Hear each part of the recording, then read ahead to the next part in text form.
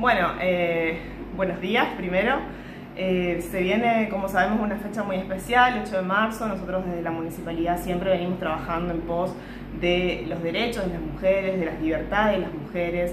Este, y en este caso, este año, eh, vamos a hacer diferentes actividades que tienen que ver con este objetivo principal.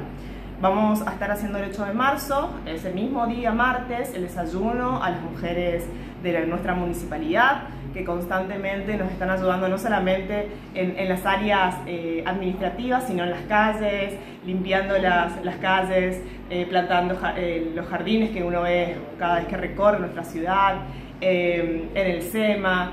Vamos a brindarles a través de la Coordinación de Acción Social ese famoso desayuno que ya venimos haciendo hace ya varios años. Y también estamos organizando en la Feria de Mujeres Emprendedoras el sábado 12 un evento que se va a llamar Música y Mujeres, donde vamos a tener a artistas mujeres eh, arriba del escenario tocando sus hermosas músicas.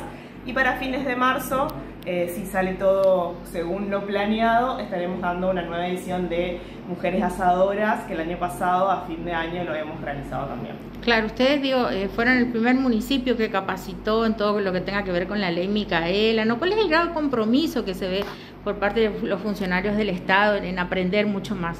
Sí, nosotros desde la municipalidad capacitamos a los funcionarios municipales, capacitamos al, al Consejo Deliberante y también hemos empezado el año pasado a a los empleados municipales, empleados y empleadas municipales de diferentes áreas. Este año tenemos el objetivo de llegar a todas las áreas que aún nos faltan por capacitar.